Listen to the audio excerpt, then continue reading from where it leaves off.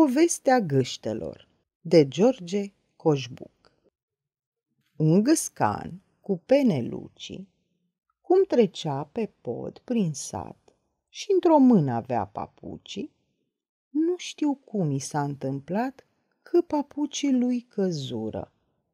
Ce păcat, o, ce păcat! Căci erau cu alesătură, fără leac de tivitură. Ce păcat! Gâștele auzind cum zbiară, Aoleu, papucii mei!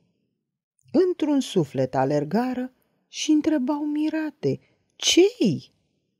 Am rămas, plângea găscanul, păgubaș de patru lei. Iată-mă descult, sărmanul, ce mă fac acum, golanul, fără ei? Haideți toți, și moși și babe, să-i cătăm pe rău acu. Repede notând din labe, cârdul tot pe rău trecu. I-ai găsit? Eu nu, surato, ce mă întrebi așa și tu?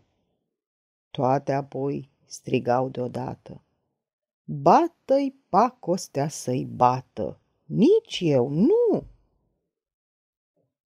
Vara întreagă tot umblară, dar papucii duși au fost. Și-au să umble și la vară până ce le-or da de rost.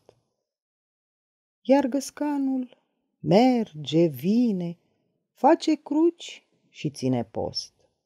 Nu-i găsesc. Sărac de mine, iar desculție, vezi tu bine, lucru prost.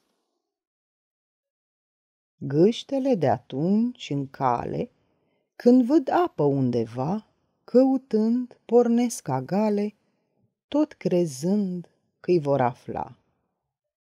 Vin și rațe să le ajute. Mac, mac, mac, hai vino, du, zile așa, pe rău pierdute, ga, ga, ga. Iar când gâștele stau gloată și prin dreptul lor te duci, Sare tabăra lor roată și te întreabă. Ce ne aduci? Ai găsit papucii? Spune! Tu la fugă atunci să apuci.